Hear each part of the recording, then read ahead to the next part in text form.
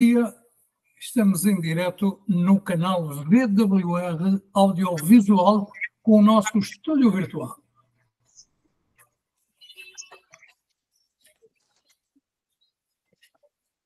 E como é uma estreia em direto no canal, vamos aqui falar sobre dois temas que são uh, o corpo do isto e aquilo de cada semana.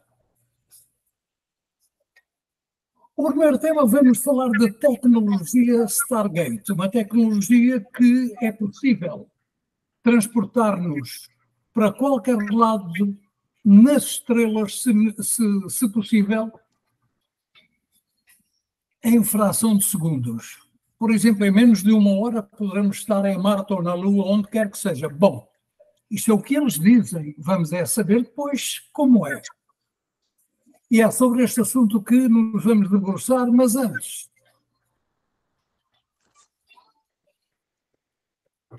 Boa noite à nossa equipa. Boa noite, Sónia, diretamente de São Miguel, nos Açores. Ora, muito boa noite a todos. Boa noite, Creuza, diretamente da capital do Brasil, Brasília. Boa noite, um abraço para todos que estão nos escutando. E agora, a Rafinha Rocha, também da Ilha Verde, São Miguel, Açores. Boa noite, boa noite e abraços verdes.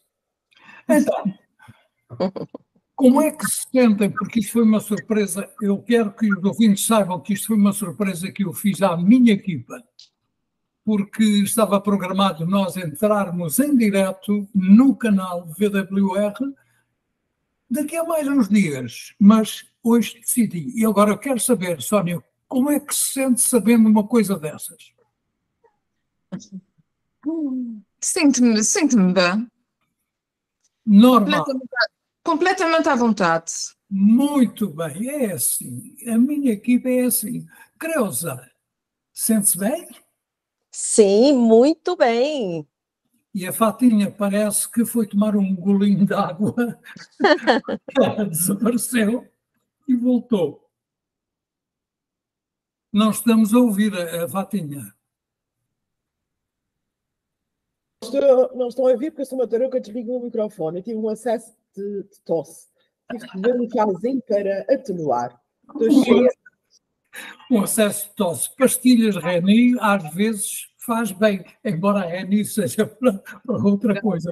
Não tem azia, ganhou o Benfica.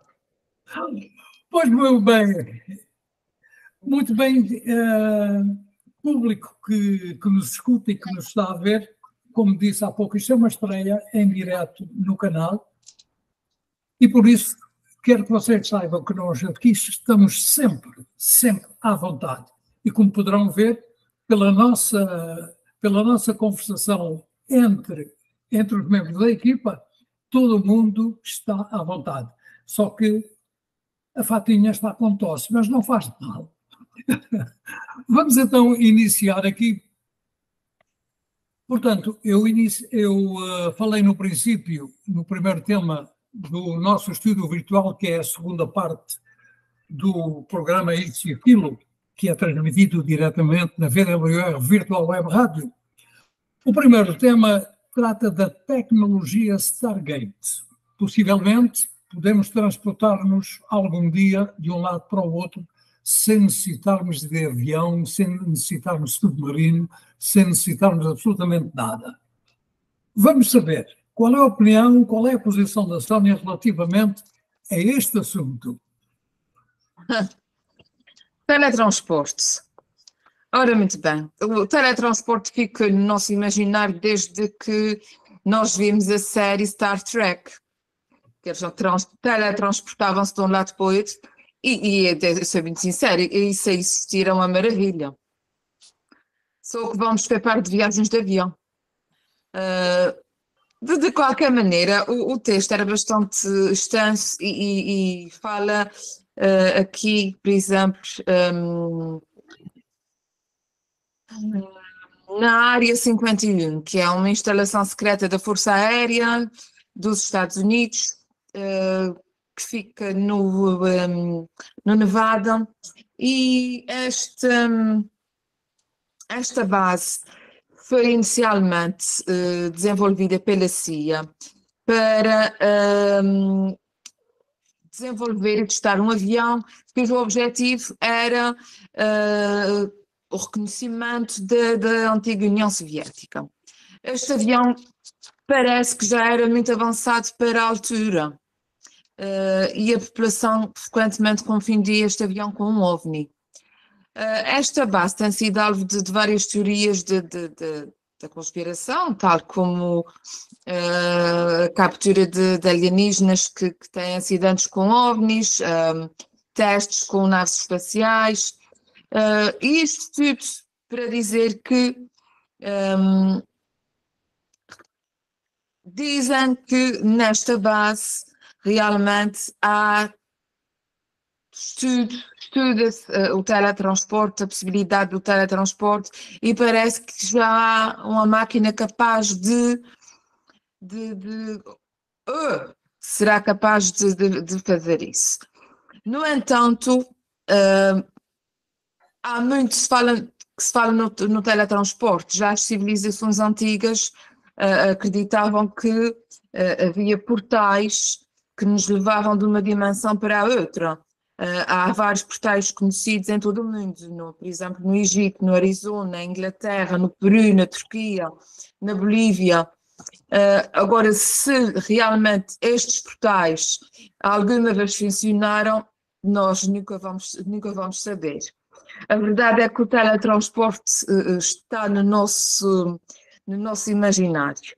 E realmente parece-me uma técnica bastante complicada de, de se desenvolver, porque uh, o princípio é uh, transportar um corpo físico de um lado para o outro, ou seja, este corpo teria que ser fisicamente desconstruído num lado e reconstruído no outro lado.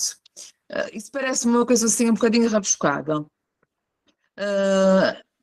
enquanto eles vão falando, enquanto eles vão uh, pensão de como é que vão fazer isso. Um, eu penso que isto é uma, isto, isto é uma coisa que, que é extremamente teórica. Um, mesmo assim, acho que não, não custa senhores. Entretanto, o tal general trabalhou 33 anos, 33 anos com a equipa de, que, que estava a desenvolver precisamente este processo. Vamos saber talvez daqui a mais uns anos, o que é que vai acontecer. E da Sónia, eu vou passar precisamente para Creuza Lacerda. Creuza, então, vamos teletransportar-nos um dia? Olha, essa foi a pesquisa mais incrível, mais incrível incrível dos últimos tempos que eu fiz. Eu posso dizer, eu me deliciei em ler, viajei no Stargate, que você nem tem dimensão como. Futuramente, quem sabe, né? Então, o Stargate, eu entendi que é o aparelho mais incrível da ficção científica é um aparelho assim super, super, ou seja, é um dispositivo com propriedade super, digamos assim, pro, super condutora, que por meio da tecnologia super avançada permite-se viajar, como se foi dito, de um lado para outro em questão de segundos, ou seja, a velocidade bem maior do que a luz, que permite você estar aqui e estar lá ao mesmo tempo. E o que me chamou a atenção foi o termo criado por John Wheeler em 1957, o termo chamado buraco de minhoca, ou seja, o Stargate é, tem uma comparação como um buraco de minhoca. Quem conhece a minhoca sabe que ela começa a projetar seu orifício aqui na Terra e ela vai, vai, vai até aonde ela chegar lá. Então, em 1957, esse cientista americano, John Wheeler, ele criou o termo do, para o Stargate, né, que você poderia tele, se teletransportar através de um buraco de minhoca. Ou seja, fui atrás de mais explicações, né?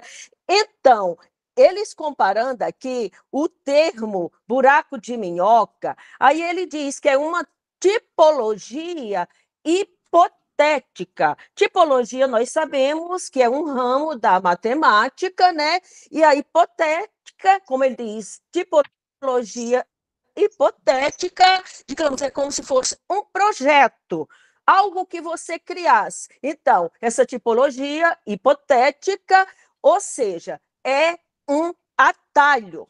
Esse buraco de minhoca é um atalho que se cria, né? Para que você chegue, digamos, a outra dimensão espacial, a outro local, né? Em fração de segundo, é um projeto é, de infraestrutura.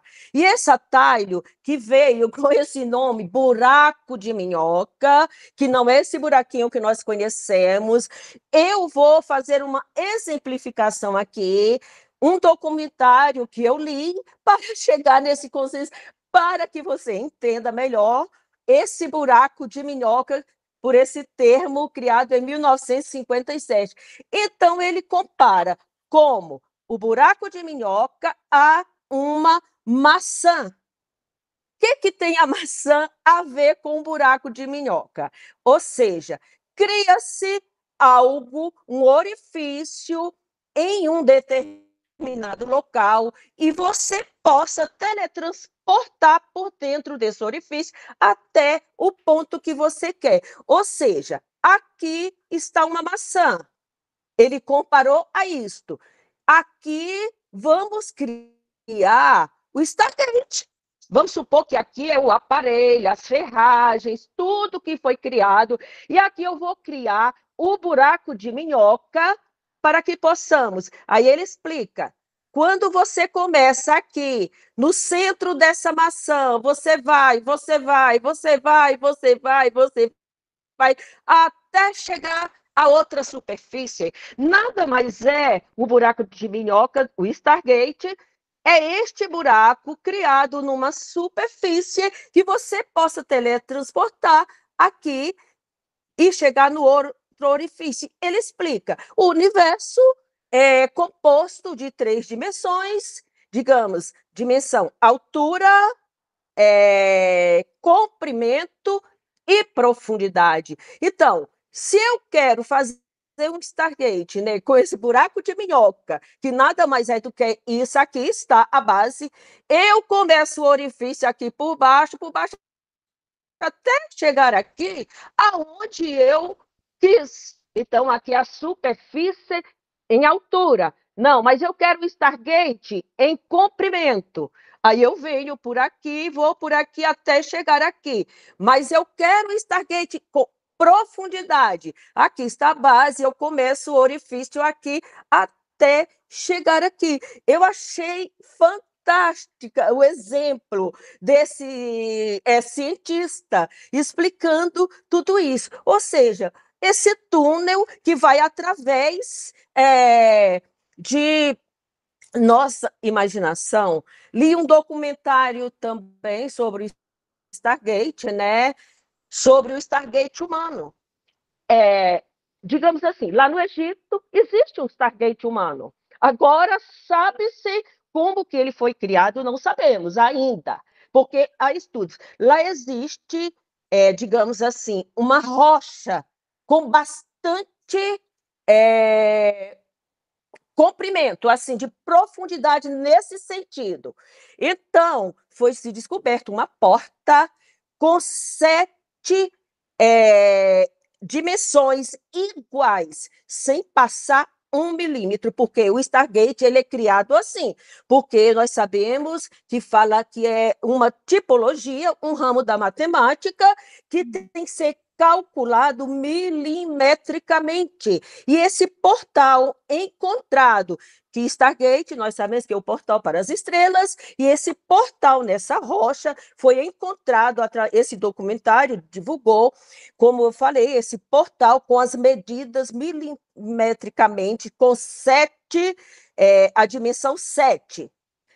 E através dela, quando se abriu, eles chegaram a uma profundidade do outro lado da rocha. Digamos, aqui o portal do Stargate, lá humano se chama. E quando eles conseguiram, foram até o fim. Ou seja, eles não foram criar o Stargate, eles encontraram. E quando abriram essa porta, conseguiram entrar e aqui eles saíram do outro lado da rocha. E lá o documentário explica que havia muitas múmias, havia muita coisa, inclusive aparatos que, é, nesse Stargate humano, que provocava arrepios, arrepios estranhos mesmos. Encontraram é, uma forma de disco com muitos é, é, heliógrafos, né, aquele que fala aquelas letras antigas, e eles, ao se aproximarem, eles sentiam esse arrepio. Então, eu achei uma matéria, um tema super interessante, muito bom, e voltando mesmo ao Stargate, nós vimos aí as séries, né, os filmes de ficção científica que a gente viaja no tempo, aquele de 1994, quem quiser conhecer melhor, começa. Se você ainda não assistiu um filme de, de ficção científica do Stargate, então começa com esse filme de 1994, aí você vai penetrar nesse universo, nessa tecnologia Stargate, e você vai entender, porque eu viajei, já tinha assistido, mas eu viajei no tempo até chegar lá aonde eu queria. Então, eu espero que vocês tenham gostado. Obrigado, Creuza. Com uma ilustração dessas, quem é que não há de gostar? Sem dúvida, obrigado. E agora, antes de passar uh, para a Fatinha, vou dar as boas-vindas à Célia Lopes, que ela já cá está, deve ter tido algum problema no início, por isso chegou um pouco mais tarde. Boa noite. Boa noite, Celinha. Boa noite. Não sei se está ainda em Brasília. O microfone está desligado.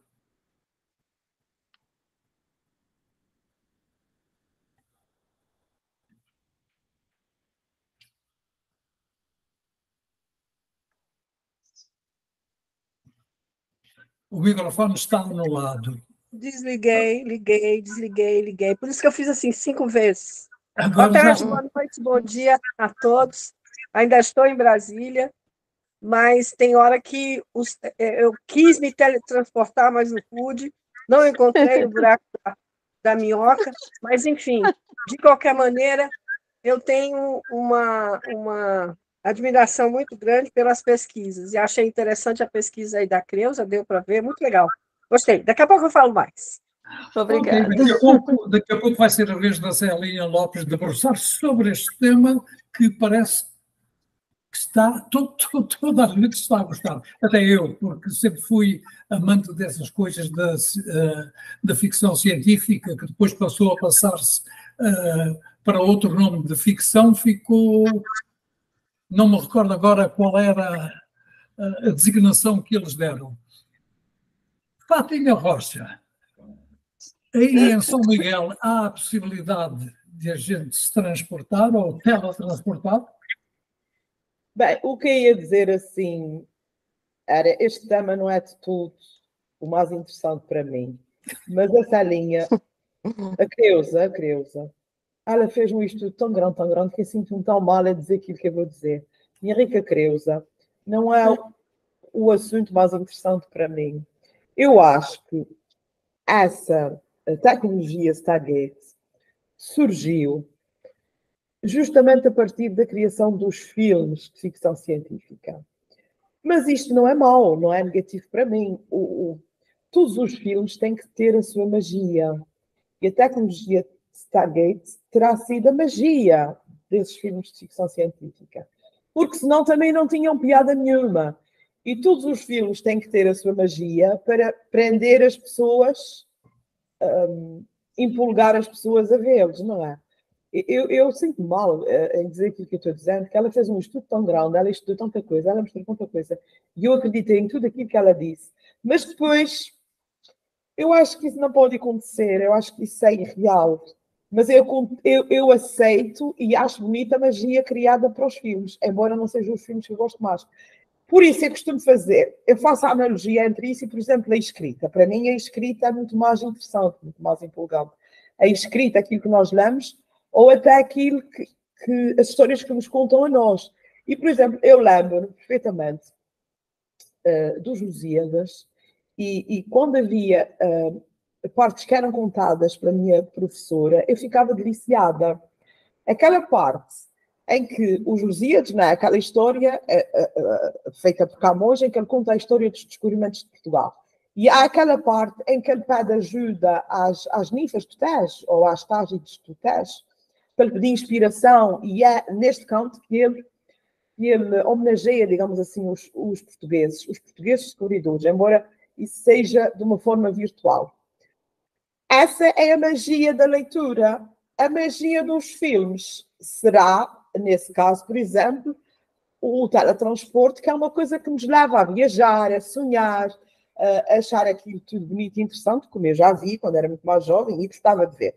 Embora não seja assim o tipo de filme que eu gosto mais de ver, ele escolheu outro interesse. Em relação àquele senhor, eh, acho que ele é general, eu não conheço o senhor, de lado nenhum, mas aquele discurso, a priori, parece-me ali um bocadinho delirante, né? Ele diz assim umas coisas. Mas há uma coisa deliciosa que ele diz. Ele diz que num, num, num, num outro tempo, ou viram tempos em que as, as guerras podem ser feitas no, no espaço.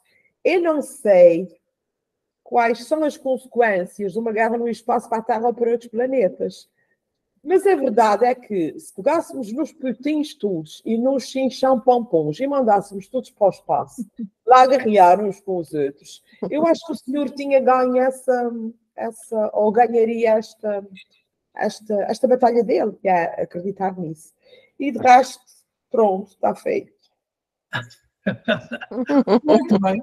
Aqui, como toda a gente sabe, a diversidade de opinião, a diversidade de pontos de vista, a diversidade de posições é que contam precisamente neste nosso programa. E é isso que continua a valer e vai continuar a valer, porque vamos ouvir agora a Celinha Lopes, e ela possivelmente terá algo talvez diferente ou mais ou menos parecido com aquilo que está a acontecer aqui, não é, Celinha? Eu já tenho que falar. Não, mas é o que eu falei. É, é, é, é muito interessante essa questão do, do teletransporte, da, do Stargate, dessa realidade trazida para é, através dos filmes. E há uma coisa, se eu não me engano, foi. Vocês estão me ouvindo bem?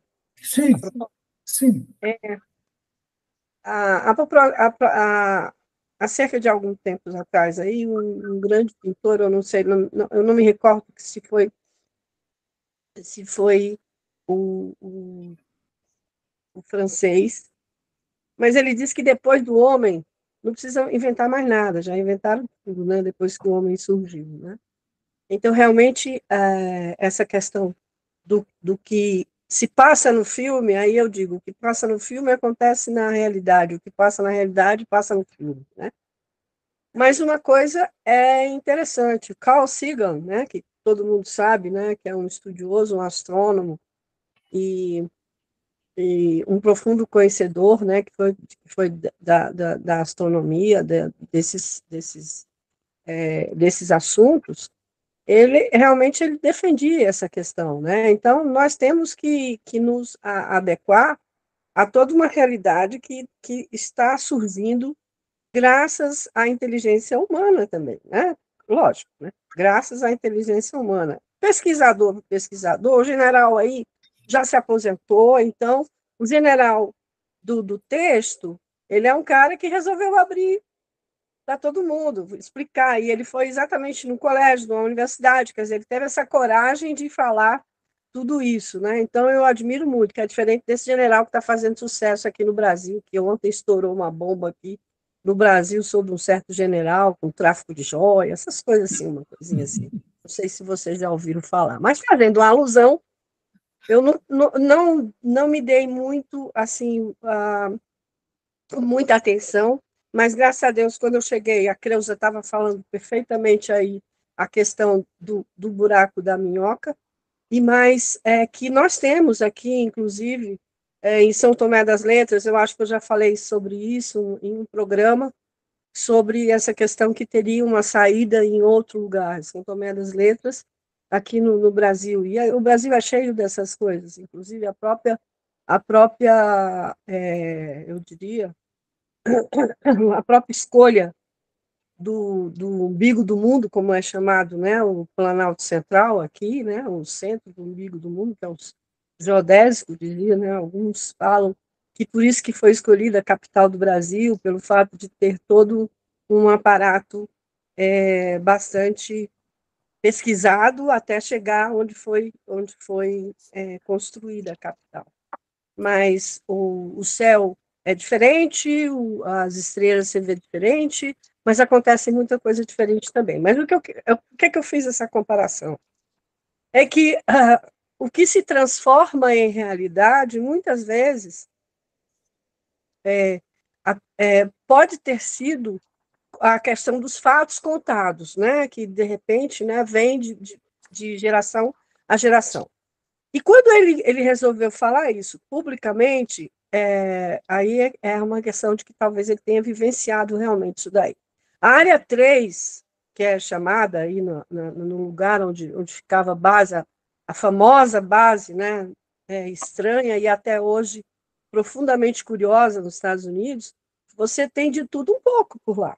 Né? Se você for vir, se você for fazer o retrocesso, de vez em quando acontecem coisas que foram tiradas e que foram.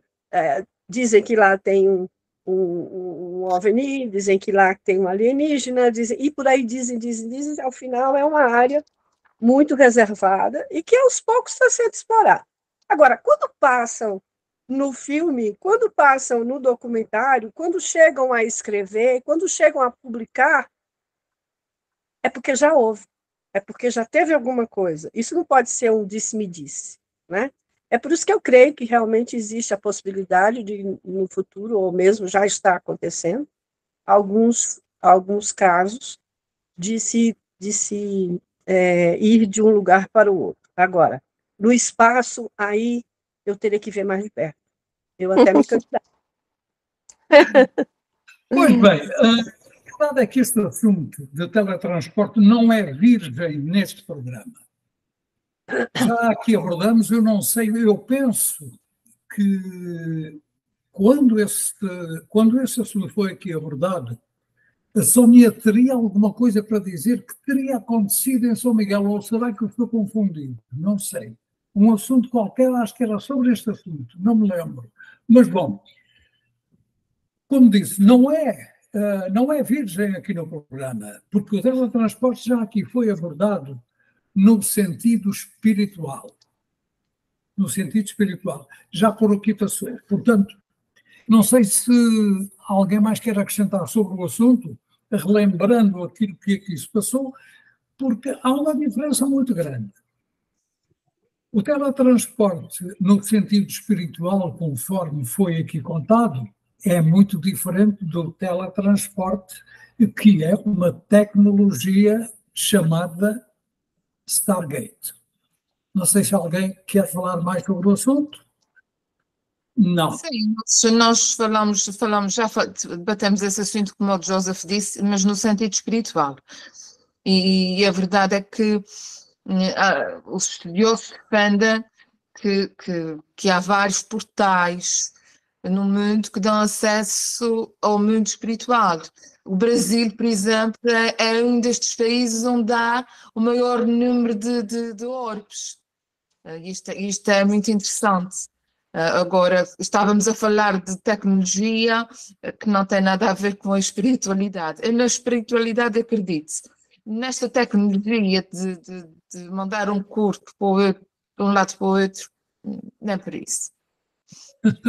Pois bem, então encerramos aqui o primeiro tema do, do programa Isto e Aquilo, que esse, uh, os temas são todos trazidos para cá, para o nosso estúdio virtual, que é a segunda parte disto, para quem não sabe ainda, ainda quem ainda não, não se focalizou na questão do programa Isto e Aquilo.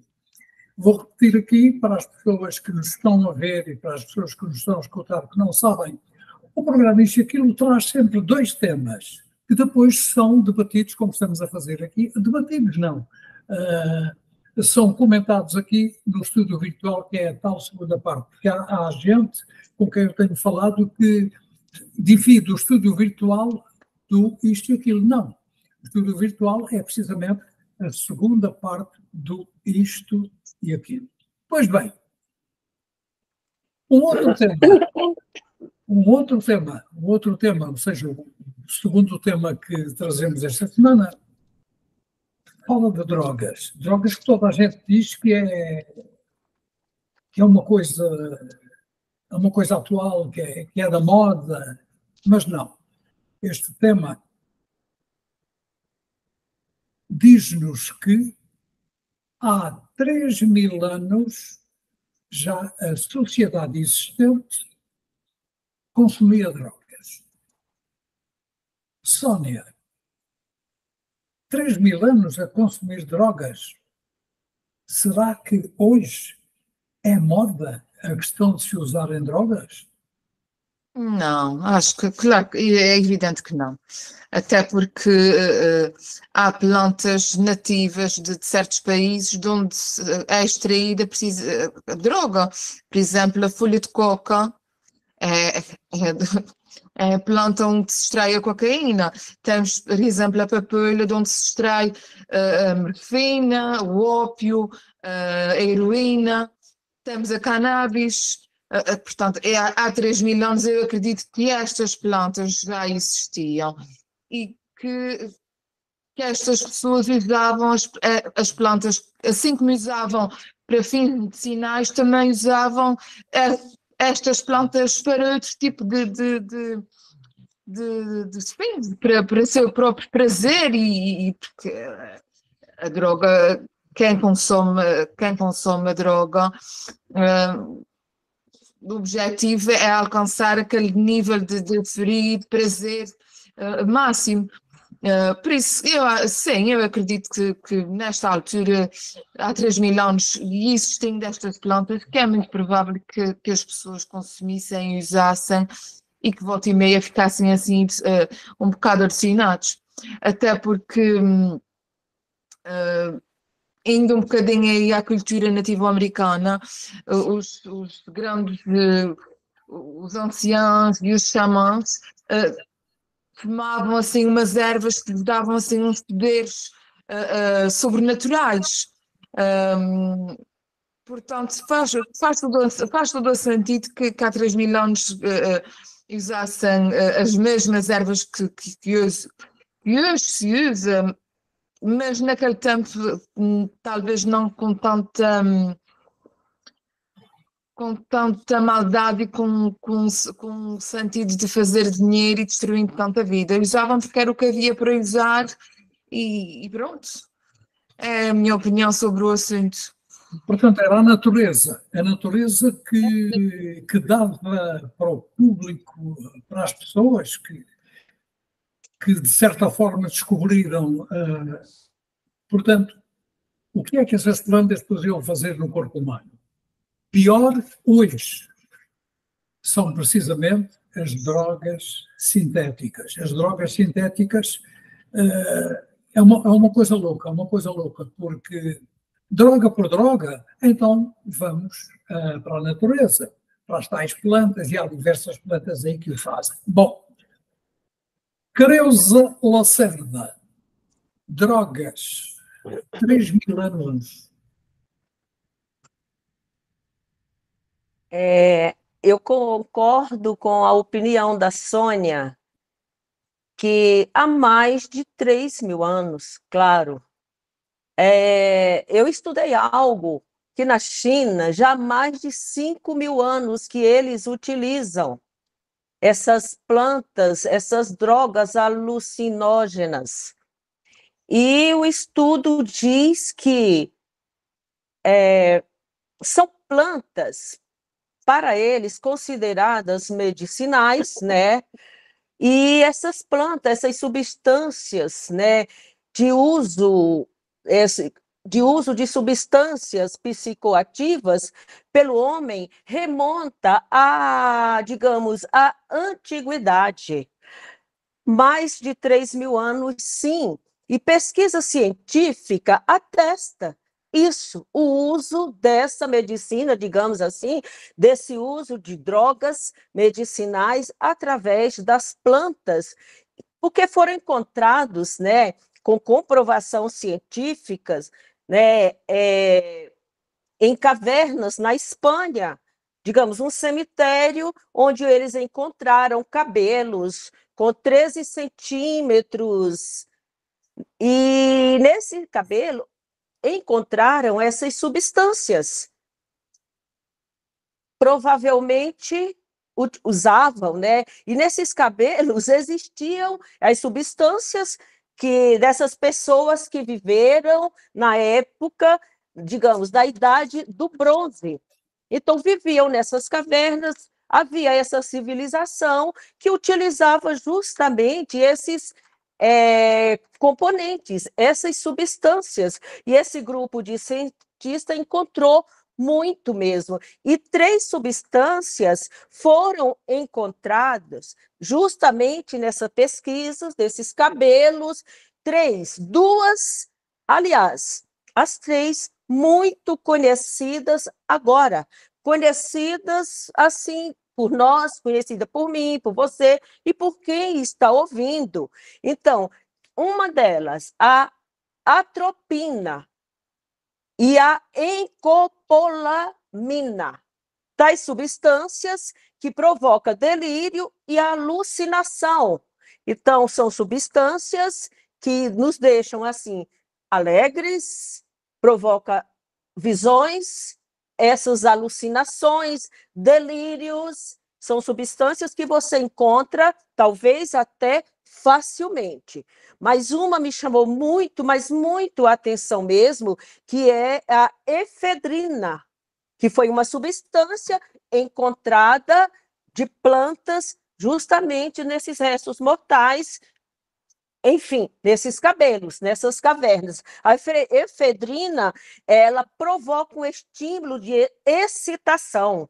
Ela provoca algo sobrenatural no ser humano, ou seja, é uma substância usada muito por as pessoas que fazem academia, mas não são todas, claro, eu faço academia, não uso, mas muitos é, utilizam para que a efedrina, para que tenha mais disposição, mais força, ajuda também na massa muscular, como também ajuda emagrecer. E os estudos também comprovam que ela é usada no tratamento para baixar pressão. Então me chamou a atenção porque é uma droga grave o nome efedrina, que provoca é, excitação, estímulo, energia, é, provoca é, a massa muscular, como emagrece também. Mas o cuidado, nós deixamos aqui no programa e chamamos a atenção, como foi dito, é usado para baixar pressão.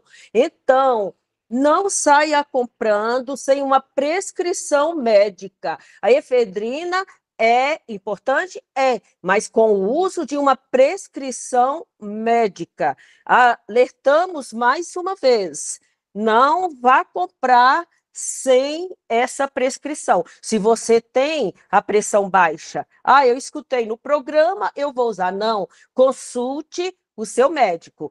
Então, são substâncias que estão aí, é, talvez nas prateleiras, né? É, em alguma é, farmácia homeopática, de produtos naturais, mas que também são importantes. Nós precisamos. em doses, digamos, pequenas. Então, é um estudo que realmente é, me chamou a atenção também. Então, muito obrigada. Muito bem. Na área profissional da Fatinha, existem drogas. E ela vai falar, ela já está aí, ela vai falar precisamente sobre este assunto. É claro que existem drogas, mas ela, ela sabe o que é que eu estou a dizer e ela vai explicar também, Fátima. Não, o microfone não está ligado. Acontece. Eu tosse, para não ouviram os meus ataques de tosse. Há textos até que dizem que uh, essas substâncias psicoativas, lisogénias, já existem muito mais do que 3.500 anos. Há, há registros, como disse a Creusa, de mais de 5.000 anos. Uh, porque, precisamente porque apareceram vestígios de determinadas drogas nos tais cabelos que apareceram por lá, e também em utensílios que eram usados um, naqueles rituais que, que, que, faz, que, se faziam. Todos nós temos a ideia, uh, quando muitos não em filmes, de, dos rituais dos indígenas e dos bruxos e dos feiticeiros a fazerem as células mazinhas, né? com, aqueles, aqueles, com aquelas roupas eh, vestidas e esquisitas, e a, e a usarem mazinhas que faziam justamente ressuscitar os mortos, não é? Meter coisas, dar aos doentes e eles ressuscitavam. E tanto de haver uh, esses, esses, um, esses, eu digo sempre medicamentos, mas não, não é medicamentos. Essas drogas são princípios ativos, justamente como a Creusa disse, que são, uh, que existem em determinadas plantas, nomeadamente na beladona. E, e, aqui, uh, eu não sei se vocês têm conhecimento, mas se calhar a Sônia e o Joseph têm. Antigamente falava-se muito na beladona, que era aquela planta que tinha uma bolinha preta e que diziam-nos, desde os livros, se a gente mete aquilo na boca. Tinha que ter algum sentido, né? Porque tem propriedades que, mal usadas, podiam provocar estas situações de, de alucinações e, e, e de, de, de, excitação que nós não queríamos. Eu sempre ouvi dizer nunca se trinca bolinhas, nem pretas, nem amarelas, nem de outra cor. E justamente nessas, nesses, nessas plantas existem as tais, os tais princípios ativos que hoje em dia se usam, usam nos medicamentos, e, mas que são usados a partir de uma planta natural. Ou seja, eu acredito que nesse tempo o, a maneira como se usavam as plantas, o uso que se dava às plantas, não é tudo o que se dá hoje em dia. Realmente, nessas plantas existe a tropina e escopolamina e, eh, e, e efedrina, que são usadas, que nós usamos, que nós usamos nos hospitais e têm os seus, as suas eh, as, as, suas prescrições próprias, não pode ser usado assim de qualquer maneira. São medicamentos que têm que ser usados com muito critério, muito rigor, um, e que naquele tempo eram usados por, provavelmente por aquelas pessoas que tinham mais conhecimentos e que experimentavam, e no experimentar é que elas iam vendo qual era o efeito que aquilo tinha. E realmente a gente havia falar muito daquelas que faziam levantar o morto. E o que é que fazia levantar o morto? Provavelmente alguma planta que tinha efedrina, porque a efedrina nós damos no hospital quando há pessoas que têm uh, usa-se no, no, no pré-operatório, mas também se usa em situações de urgência e de emergência, quando há quedas abruptas de tensão. Aquilo dá uma espécie de um choque, né? E faz levantar a frequência cardíaca. Portanto, a atropina, já agora eu digo, a, a, a escopolamina é muito conhecida por buscopan. O buscopan é um medicamento já muito conhecido, muito antigo. Uh, calhar tem mesmo uns 5 mil anos que eles dizem. E é muito usado nas cólicas abdominais fortes. Nas mulheres em idade fértil que têm as cólicas menstruais, aquilo é tiriqueda. É usado também nas dores fortes, as dores urinárias, a, a, a, a célebre pedra no rei. Usa-se muito essa medicação. A nível, por exemplo, da, dos doentes cancerígenos, usamos muito um, como adjuvante para acalmar as náuseas, os vômitos, para além da dor. Uh, e resulta, usamos até de uma forma subcutânea, porque existem várias maneiras dos medicamentos, né? pela boca peroz, no rabo retal, na veia intravenosa ou endovenosa, e, uh, e, existe também no tecido subcutâneo, a gente chama mais subcutâneos, e, e usa-se muito uh, o Buscopan e que dá, dá, muito resultado. Depois ainda temos qual é mais? Uh, temos a atropina, que faz vantagens cardíacas, e depois temos a efedrina, que se usa então nas, nas, quando há aquelas quedas abruptas de tensão. Também, sim senhora, há ligações uh, desse medicamento com as perdas de peso. E porquê? Como ela é um estimulante e faz as pessoas estarem sempre assim, digamos assim, mais elevadas, ela retira um bocado a fome. E porquê é que ela faz emagrecer? Porque se tira a fome, as pessoas não comem e emagrecem. E, e agora, a propósito disso, há um episódio que é rimo sempre e conto, que agora lembrei-me assim de repente. Uh, houve um, há aqui uns anos atrás, a febre do Tutalon. A Sónia deve se lembrar da febre do Tutalon. O Tutalon é um médico espanhol faz milagres com as mulheres em termos de emagrecimento. Uhum. Eu, que já tinha os meus dois filhos pequeninos, os mais velhos, e a filha gorda, gorda do segundo, lembrei-me dele do Tutalon. E o homem passou-me os três remédios que ele passava a toda a gente. Aquilo era dia para acalmar, era cáscara sagrada, que era um laxão, e mais uma coisa que era uh, à base dessas efedrinas e que dava assim um, um dava assim um choque, um, um, era uma coisa inexplicável. E eu recordo que tomei três dias e eu só não fui para cima das telhas, lavar as telhas, porque eu tinha muito medo das, para as telhas, porque senão eu tinha subido as telhas porque se eu só queria era trabalhar, eu só queria era fazer coisas. Ele limpava tudo, ele lavava tudo até o mais pequeno menor. E é assim que se emagrece. Eu não comia, não queria comer. Claro que aquilo só durou três dias e depois eu fui-me pesar e acho que perdi 400 gramas. Pronto. De resto, não é assim que se emagrece. Mas realmente há sempre tentativas e, e pronto. Um, e o que é que eu tinha para dizer? Ah, de facto, as drogas esse tipo de. A gente não pode falar em drogas naquele tempo, provavelmente. Eram plantas naturais que descobriram uh, as, as potencialidades delas, usavam-nas. Eu penso que, não, que também se podiam usar, se calhar, no mau sentido. Toda a gente também já ouviu falar das célebres festas dos romanos. Os romanos faziam festas muito alegres, em que eles comiam, desculpem o termo, porcos, e tinham pias para vomitar na, nas salas onde eles comiam, porque eles comiam até dizer e eram sempre muito alegres e muito excitados e tinham muitas mulheres e tinham muitas relações com muitas mulheres, porque eles também gostavam muito do, do, do, de umas ervinhas e de uns chazinhos que hoje em dia a gente diz que são aqueles que fazem rir e eles se riam, era por algum motivo. Mas o sentido do uso da droga dos nossos tempos, eu não creio que fosse esse. Com o passar do tempo, o uso das drogas começou a tomar, desse tipo de produtos, digamos assim, começou a tomar novas proporções. E nós sabemos que também as coisas foram por ciclos, foram por modas. Houve o tempo da coca, houve o tempo do ópio, houve o tempo de, de não sei o quê. Eu não sei muito sobre isso, que não... mas há, há, houve, houve, muitos tempos, muitas modas, muitos ciclos. Até chegarmos ao ciclo emergente, né, que o, o Joseph já falou, das drogas sintéticas, que é, penso que já é o flagelo dos nossos dias porque elas já não são feitas nem com ervas, nem com astrinas, nem com, a, com, com biscopãos, nem com nada disso. São feitas, segundo alguns relatos, eh, por pessoas que até não têm conhecimentos de. Portanto, são laboratórios improvisados né, que eles fazem, em cozinhas simples, em coisas simples, em lugares escondidos para não serem descobertos.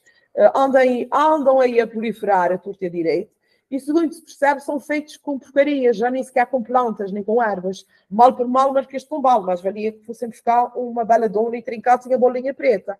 Mas não, uh, uh, dizem que aquilo tem pesticidas, uh, juntam cal e produtos que possam acrescentar o produto para depois eles venderem uma grama ou lá como é que se chama por determinado preço. E é isso já não é só o, o, o efeito da alucinação, como nós estávamos a falar, mas já são efeitos muito mais perversos e, e, destroem mesmo algumas funções neurológicas. Há pessoas que durante muito tempo enquanto a droga uh, decorre no organismo e, e, custa um bocadinho a limpar, leva ali uns dias, as pessoas uh, veem, veem, veem uh, bichos, querem trepar paredes, e tratam mal toda a gente, insultam. E às vezes pessoas extremamente educadas e pessoas muito corretas, que sob o efeito daquelas coisas se transformem em coisas inimagináveis. E eu vejo isso muitas vezes e quase todos os dias. Portanto, uh, as drogas têm sido por ciclos até chegar ao que chegou hoje. E um, desde me livre de uma coisa dessas, mas eu vou dizer, mais valia uh, as, as tais bolinhas da Valadona, pronto, do que, do que os nossos jovens estarem metidos nessa grande, nessa grande desgraceira, porque é uma desgraceira. E parece que já foi criado, eu não sei se chama gabinete de crise ou uma coisa parecida qualquer para aqui para os Açores, criaram um, um gabinete qualquer para combate, e há alguém aí uh, da polícia em, no combate dessas, dessas drogas, porque se continuar assim a gente vai estar pronto para um flagelo humano muito grave. Sónia quer falar. Quer uh, sim. E uma vez que a Fátima, pronto, a Fátima é uma profissional da saúde uh, e eu tenho uma certa curiosidade, uh, por isso eu vou perguntar, talvez a Fátima me saiba esclarecer. em relação aos doentes oncológicos, fala-se muito na, na, no óleo de cannabis para atenuar os efeitos da quimioterapia. Isto é, é, é verdade? É real? É, é utilizado? Parece que sim. E mesmo um, há um, um, óleo que eles chamam óleo de cannabis, né, que é medicinal, é feito com determinadas, pronto, eh, de uma forma segura. Uh, aquilo usa-se numas gotinhas. Eh, eu já trabalhei em, em oncologia e em cuidados paliativos e nesse momento já não.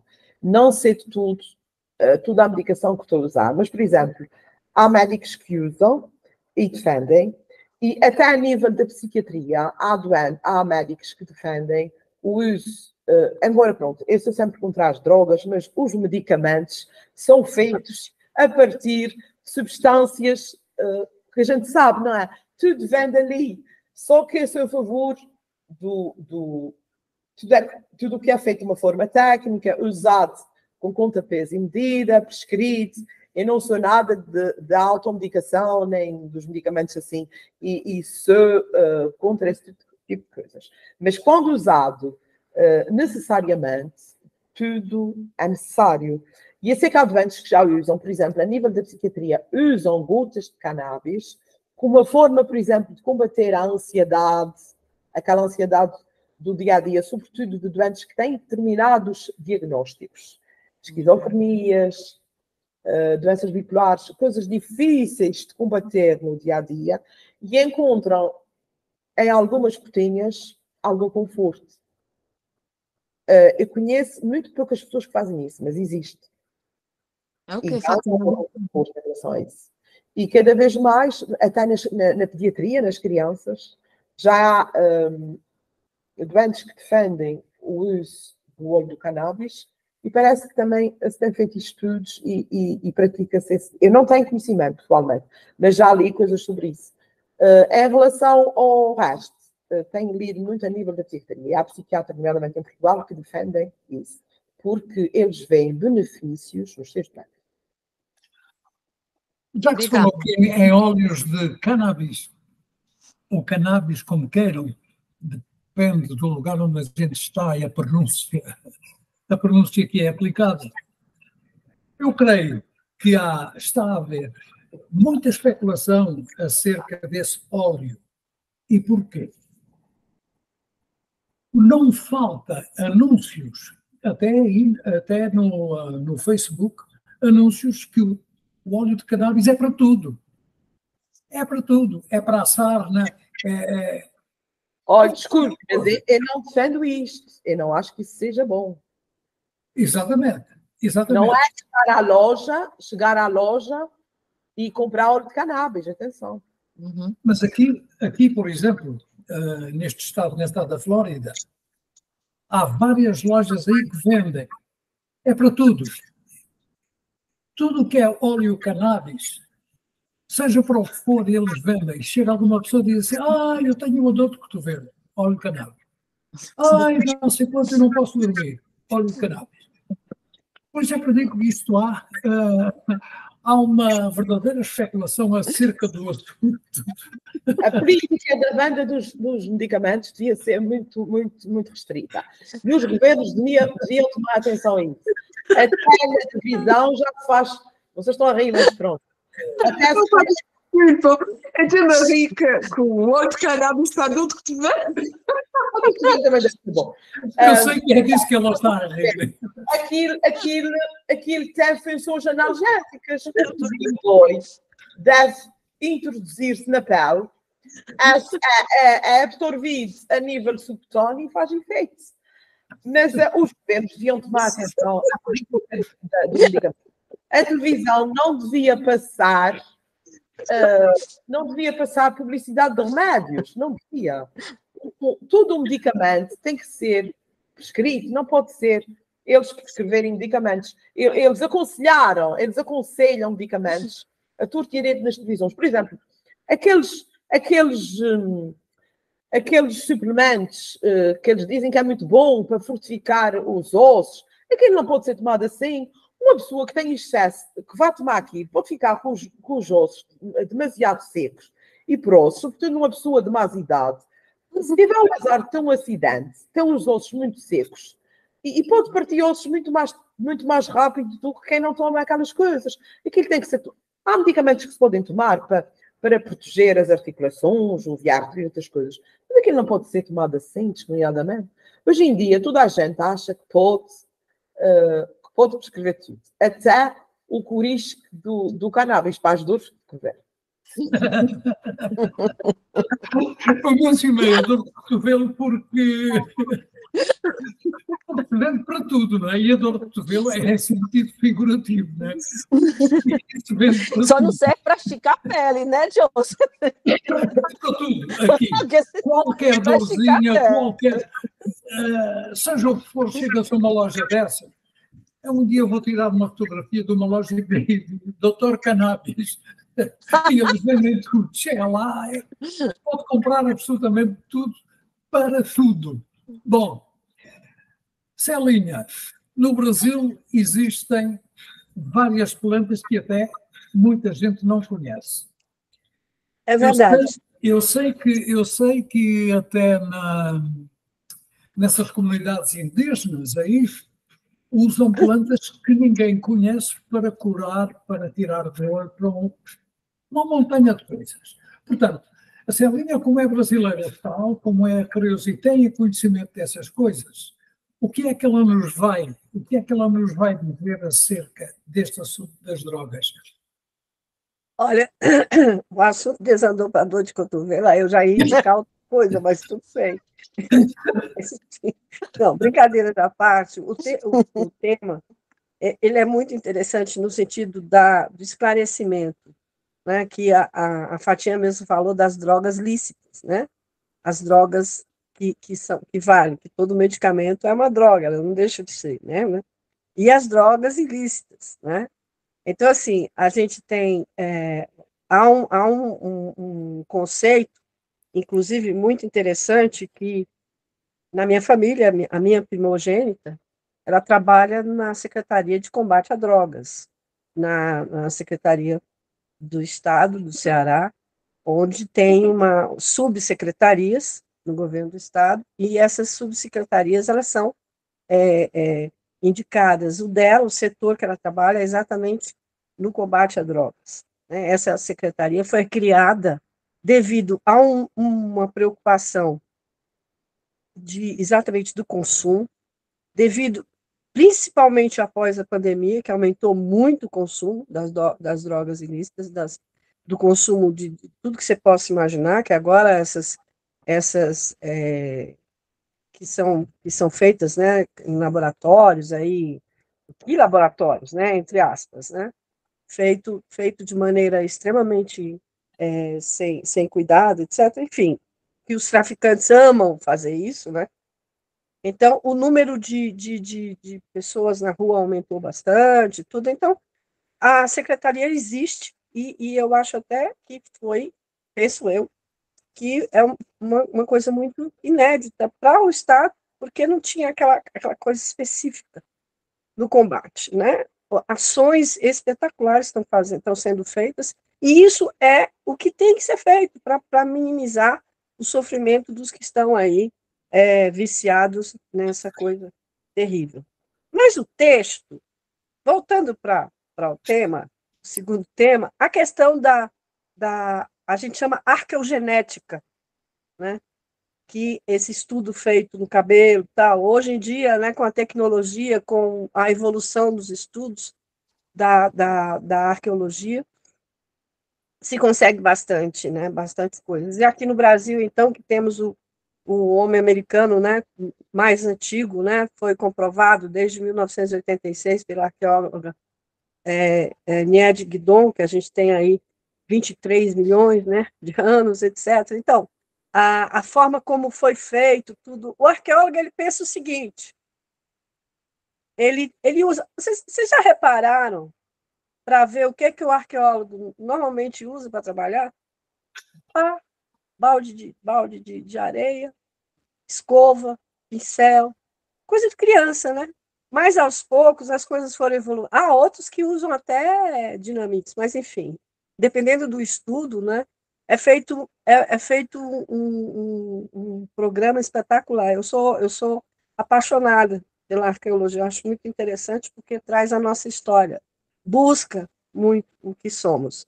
E o Brasil ele tem a característica de possuir a maior parte da Amazônia, né? Então a Amazônia, ela desde quando o Brasil nasceu, como Brasil, como Brasil, ela foi atraente, ele foi atraente na questão da, das plantas. É, tráfico de plantas era muito comum no início do, do, no Brasil colônia, no Brasil colônia de, e depois o Brasil atual. Então há inclusive patentes feitas lá fora com plantas nossas, né? Isso é bem, isso é todo mundo sabe disso. Ora, se, se, se, se uh, um povo asiático queria patentear a rapadura, vocês imaginam, né? mas graças a Deus eles não conseguiram é, patentear a nossa rapadura. Mas, enfim, tudo que era interessante, curioso da, da, da medicina é, é, da medicina prática, da medicina natural, né, da homeopatia, que pode ser né, a, a manipulada, etc., a gente tem insumos para isso. Isso aí eu digo sem sombra de dúvidas, realmente nós temos insumos suficientes, não só aqui, mas na África também, e em outros lugares. Então, cada, cada lugar de, de, de, de, desse planeta maravilhoso, a gente sabe que existe alguma planta que cure, e tem alguma planta que mata. Né? Então, assim, o uso dela é que é o fato mais importante a ser estudado, a termos o cuidado disso. Por exemplo, no caso da cannabis, aqui no Brasil o óleo ele é vendido, mas ele não você não pode comprar na farmácia como eu vi numa farmácia em Portugal, né? Então assim, o óleo você só pode ter acesso conforme a legislação nossa tem isso. Tem que ter um acesso. Então eles estão começando a, a trabalhar essa questão legal para se para se é, tomar. Inclusive tem um lá em Fortaleza onde eu moro teve um, um cidadão que estava tentando ver se conseguia, a, por, por conta do, do Parkinson, porque ela atua também como inibante, inib, é, inibante não, é como chama, meu Deus, falhou aqui, inibe, inibe a, a, a, os, os espasmos né, do, do, do, da doença. Uma outra coisa é a questão também da epilepsia, que existem crianças que já estão utilizando, porque já está diminuindo com o processo de, de trauma de parto, essa coisa toda. Então, tudo dentro da legislação de cada lugar. Né? Agora, para curar a dor de cotovelo, a gente tem inúmeros, inúmeros exemplos. a gente tem inúmeros exemplos. Eu hoje, eu trouxe dois livros, sem desmerecer o tema, os dois temas, mas que coincidentemente foram os meus dois últimos livros adquiridos, que eu acho que admiro demais, sei que, que vocês é, é, vão gostar. Eu, eu trouxe o livro de uma moça que ela consumia bastante, entendeu? Então, ela. Né? e vai de encontro ao que a gente discutiu. Essa aqui é uma outra, é uma outra autobiografia espetacular, com, muito bacana, tem na Amazon, viu? Amazon. Rita Lee, isso escrito depois dela já estar em tratamento né, paliativo, que foi assim, é, um, é um, muito, muito inebriante, assim, muito gostoso, convidativo, com boas palavras simples, etc. Enfim, fantástico. Foi lançado em maio, no dia 23 de maio. E um outro que tem a ver também com tudo isso aí que a gente conversou hoje, é esse aqui.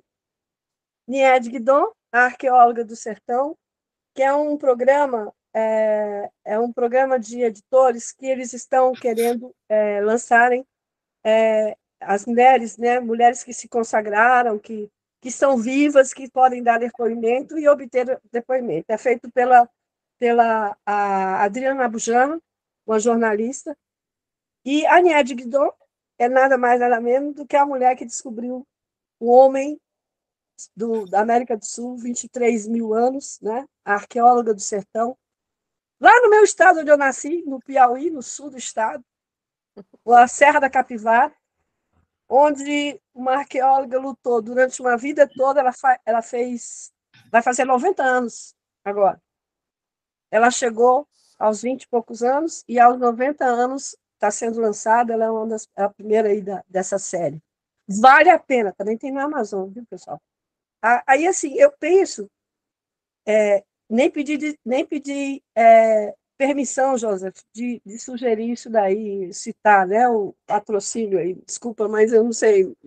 Mas, enfim, é, a fonte que você quiser adquirir, você vai, você vai conseguir uma leitura extremamente sábia, né? Então, assim, é, a presença dessa mulher solteira, sem filhos, sozinha, no mato, vendo o que é, o que é, é a planta, o bicho, a, as pessoas, o bicho homem, e descobrir o que ela descobriu é fantástico. Estudar o que ela estuda é fantástico. Que resultou na fundação do homem americano, que hoje, inclusive, até a universidade está sendo está sendo é, inaugurada, a Universidade do, da Fundação do Homem Americano. Muitos desses, hoje, hoje, arqueólogos que estão lá, professores, estudiosos, etc., foram moradores da cidadezinha pequenininha, etc., que evoluíram, trabalharam e tudo, livrando-se, inclusive, de drogas, com um processo de educação, é, de evolução, um processo maravilhoso. Então, isso vale a pena se falar, no sentido se divulgar, no sentido de que a droga ela pode ser dizimada, minimizada, primeiramente, e dizimada de, de repente com a educação. Eu sempre defendo isso, com a educação e a saúde ao mesmo tempo. Mas a luta é muito grande, a luta é muito grande porque é mais fácil construir um aeroporto, é mais fácil construir uma TV, é mais fácil construir outras, uma fonte luminosa, do que dar educação e, e ser mais humano para uma criança, né? Porque são eles aí o futuro dele, os donos dos nossos futuros. Né? Queira Deus que eu chegue aos 90 da NIED. Era isso que eu queria falar. Obrigado, Celínia, mas aqui fica. Nós uh, já nos debruçamos sobre os dois temas e para as pessoas que, que, nos estão a ver em direto pela primeira vez e também para os nossos ouvintes da rádio que nos estão a escutar, como vê, tratamos aqui de assuntos sérios com a maior simplicidade, com a maior à vontade.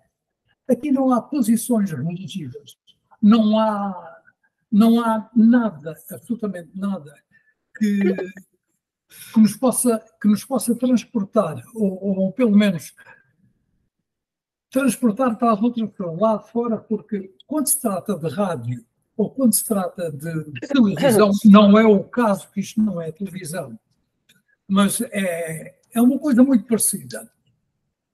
Fiquem a saber que nós aqui, esta equipa, e todas as futuras, eh, as futuras aquisições para a equipa que nós uh, estamos a fazer, ou vamos tentar fazer, é assim que isto aqui funciona, com maior à simplicidade, cada um pode rir, pode contar uma piada, no entanto, nós trazemos sempre os assuntos sérios para que as pessoas, os que conhecem menos uh, destes assuntos, por isso é que eu digo, eu pesquiso em todo o lado para trazer para o público menos informado.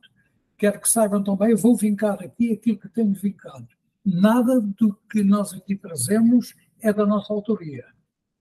Isto são assuntos que são pesquisados e trazemos para aqueles que têm um conhecimento menor acerca de cada um dos assuntos. Às vezes há aqui assuntos que não valem, parece que não valem nada, mas há pessoas que se interessam por esses assuntos. Neste caso, nos dois assuntos, aqui, aqui na equipa há quem, uh, quem adora uh, a ficção científica. Depois passou a ser antecipação científica que eu não me lembrava de nome há pouco. Drogas. Todo mundo fala de droga, mas conhecimentos. Há muito poucos conhecimentos. Uh, eu estou a falar numa generalidade há poucos conhecimentos sobre determinados temas relativos à droga. E aqui, por exemplo, com a Fatinha, que é uma profissional de saúde, temos aqui gente, e há mais que vai entrar, temos aqui gente que fala sobre uh, qualquer um dos assuntos que aqui trazemos, mesmo não estando na sua área, mas nós somos assim, somos simples, entendemos aquilo que devemos entender e mais, as opiniões divergem muitas vezes. E é isso que nos faz ser uh, apontados como um programa simples, mas que fala a sério. Não sei se alguma de vocês quer acrescentar alguma coisa mais, porque, como eu disse, é o primeiro programa em direto no nosso canal VWR Audiovisual. Sónia parece que quer falar. Uh, ainda sobre as, as ervas e as plantas medicinais, um, nós não falamos aqui nas mulheres que foram queimadas nas fogueiras porque tinham o conhecimento, sabiam usar essas ervas. Ora, isto era outro tema interessante, ainda incluindo nesta, nesta, nesta, temática de, de, das plantas e das ervas e do conhecimento antigo que as pessoas tinham, que chegou a uma altura em que era, foi considerado mau. Exatamente uh, isso. A bruxas a quem, a quem curava a quem curava uma dor de dentro, né? por exemplo. Exatamente. É, cá está, outra, outra, outra, ou seja, é um assunto muito abrangente. Nós estamos aqui a noite toda. A verdade é que aqui tudo pode ser assunto. Qualquer assunto pode ser tema. Esta é a verdade. E quem tiver, por exemplo, eu, aqui na nossa equipa, quem tiver assuntos interessantes, que não é só enviar-me por e-mail, que entre todos os outros assuntos, a gente sempre vai, uh, vai divulgando aquilo que, que achamos que, que, deve ser divulgado, aquilo que deve ser uh, comentado, uh, as posições que nós tomamos perante qualquer um desses assuntos. Vamos então, uh, se nada mais há a dizer, vamos então encerrar esta primeira edição no canal YouTube, em direto, para depois fazermos o encerramento na VDML Virtual Web Rádio, porque lá há aqueles que estão a ouvir, são aqueles que nos estão a ver. Portanto, Sónia, como foi a primeira a entrar, vamos despedir-nos. Olha, então, muito boa noite a todos. Foi um programa muito divertido, muito bom. Uh, foi um gosto estar aqui com, com vocês todos, foi um gosto estar, estar ao vivo pela primeira vez. Foi uma surpresa do Joseph e penso que correu bem. E, e eu vou me despedir de, de vocês de, de, de forma engraçada. Então, para a dor de cotovelo, olho de cannabis. Muito bem, obrigado, Sônia. Curioso.